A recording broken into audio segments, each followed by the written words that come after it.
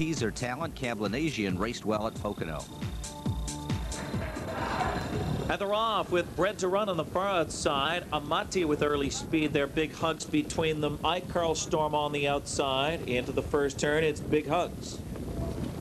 Big Hugs takes the lead. Being urged on, Bred to Run on the outside. Amati on the inside settles third as I Carl Storm gets away well in fourth as they head to the opening quarter. It's King's Nest in the fifth spot. Power of Laughter on the outside sixth. Easy Crombie is seventh. One Can Sam is eighth. Cablinasian is ninth. 27-3 first quarter down the back stretch. Bred to Run. Luc Ouellette now surging to the top. Bred to Run used early here to get that lead. Big hugs reined back into second. Amati is third with Icarl Storm under a snug hold fourth. And taking a peek there, Power of Laughter trying to flush him out. King's Nest is next on the rail, stayed in. Then it's Easy Crumbly, Combi, and a one-can Sam at the back is Cablinasian. And a quick move now from Pearson. Big Hugs. Big Hugs took the lead away from Bred to Run off a half of 56 and 2.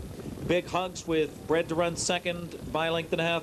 On the inside, Amati is third. Now the first over, Grind, Power of Laughter, inches his way. Powers up now into third on the outside. Hoping he advances is Easy Crombie second over following that cover. I Carl Storm got shuffled back to sixth. From the back of the pack, Cablinasian, the Pocono Invaders trying to get into it late, but Big Hugs and Pierce are trying to take off from them here. Bottom of the field, 125 and 1 in the stretch. Big Hugs has it by six lengths. It's Big Hug. On the outside, Cablinasian trying to rally into it. Easy Crombie between horses.